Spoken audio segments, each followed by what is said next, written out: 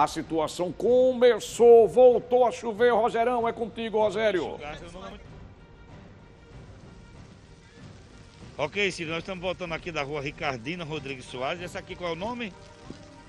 João, João Alexandre da Silva. Olha só a situação aqui.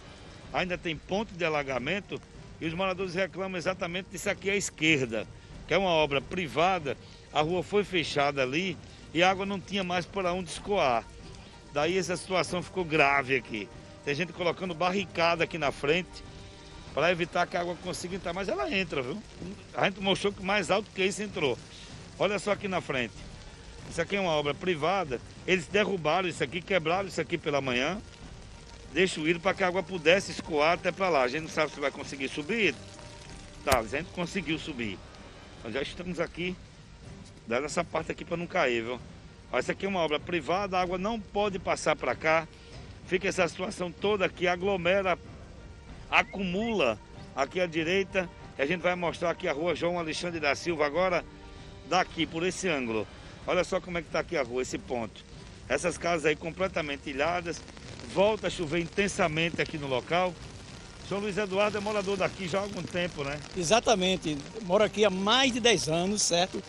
E acordamos hoje desde as 4 da manhã, é, nossas casas todas inundadas, né?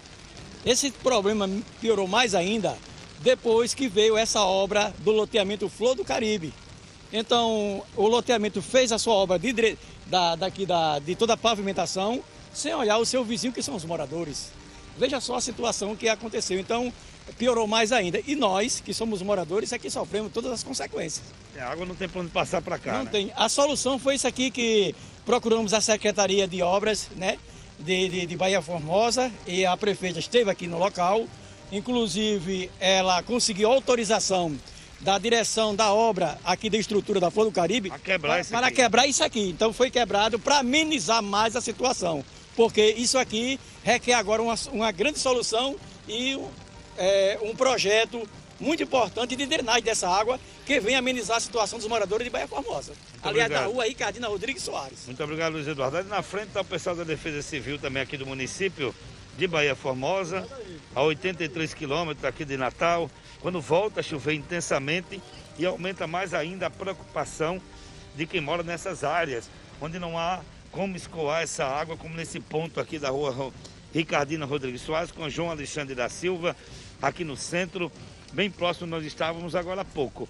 É essa situação de momento, o pessoal faz o trabalho, Defesa Civil do Governo do Estado também dando apoio, mas de concreto a gente não tem como dizer que já foi feito alguma coisa ainda pelo tempo, né, que ainda é muito curto, segundo o próprio governo. E a gente percorreu também o ginásio, algumas escolas e não conseguiu localizar ainda algumas pessoas abrigadas. Muitas estão ainda nas suas próprias casas. Essa é a situação aqui, ó. Nós estamos literalmente dentro da lama, volta a chover intensamente e daqui a pouco a gente volta no Jornal do Dia ao vivo com outras informações da atual situação de Bahia Formosa depois desse toró que cai desde as quatro da manhã. Ciro. Obrigado, Rogério. Obrigado, obrigado. Tomara que amenize, tomara que diminua. Muita gente quer chuva, mas chuva demais aí é complicado, né?